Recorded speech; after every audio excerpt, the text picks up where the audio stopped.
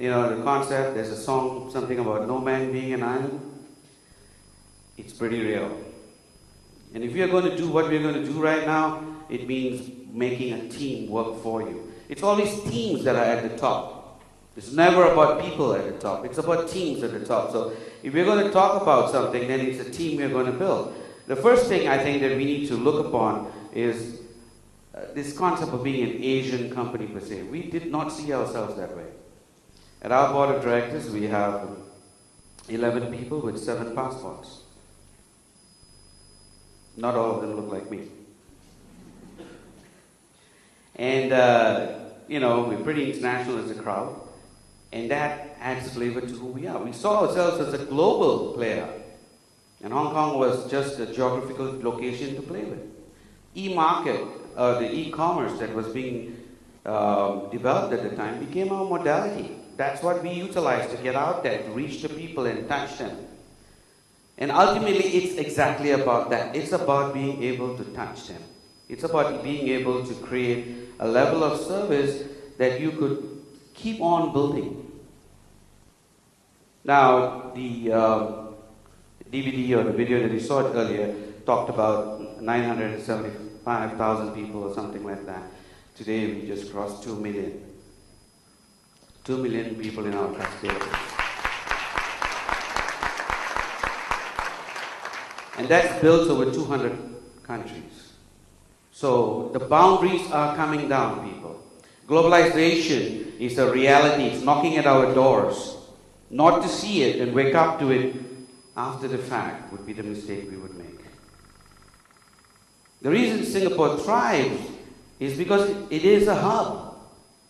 It is a very real hub. Are you with me? Certain decisions were made very early on that I believe uh, would have been strategically very powerful.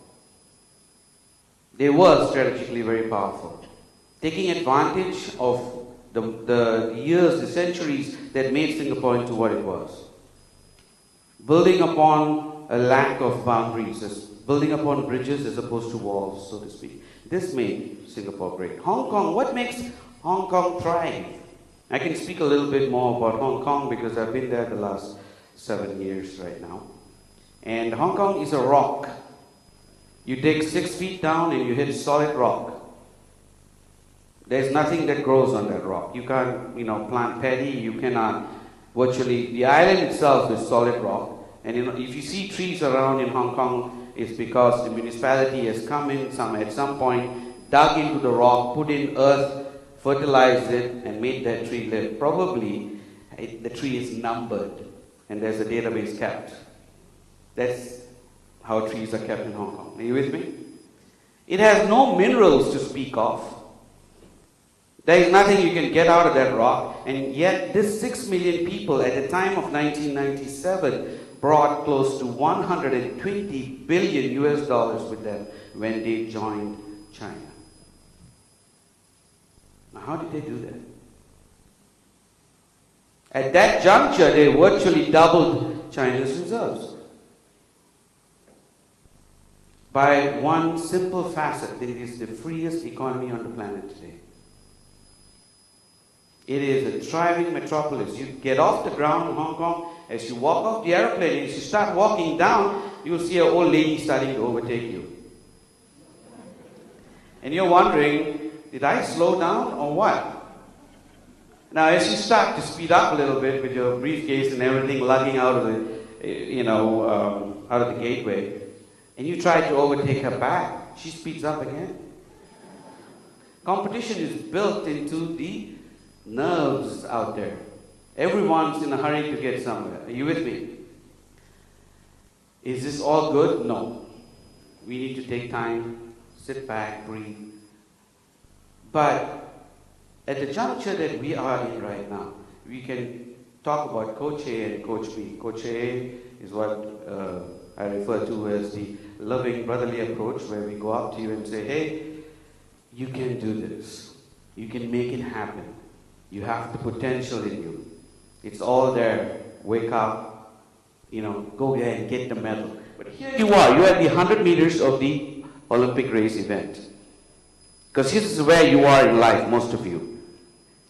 This is where you either make it or else. Am I right?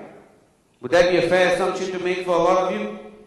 The next five or the next ten years are going to make a tremendous difference in your lives. Would that be fair? Yes? Okay. So here you are at the Olympic Games. You're at the 100 meters. You're at the finals. You have Coach A who comes and puts his arm on you and says, son or daughter, whatever it may be. And uh, equally discriminated audience, are we not? Not the equally discriminated. We'll come back to that later. Point being, he says to you, son, you can do this. Just go all out there, get this medal, come back home, the honors are waiting. And if you don't make it, it's fine too. Just do your best. Are you with me? That's Coach A. And Coach B says, Look here, son, you see those guys waiting right behind the finish line, those big goons out there? Those thugs? Okay, I have hired them. Now, if you don't make it, you go back in a casket. Now, at that time when we had to make it, it's all about Coach B. It's about being able to push that extra hour, turn that extra minute over, seek that extra customer, smile a little longer. Are you with me? And that's made, that made difference for us. But we didn't let the fact that we were Asian hold us back. Are you with me? Because we here have an, an heritage that gives us an edge. Two thirds of the population of this planet live in Asia, as you saw by the figures just now. Are you with me? Two thirds of the emerging markets, the new world, is the Asian millennium right now. And we know our backyard better than anyone else out there. Are you with me? With due deference to who are not Asian. And there is absolutely no reason why we should not turn this around and make it work for us. I mean, I lived in, in the West for 13 years. They have a wedding, 14 people turn up, and it's considered midway serious. You've got 20 people, that's a big wedding.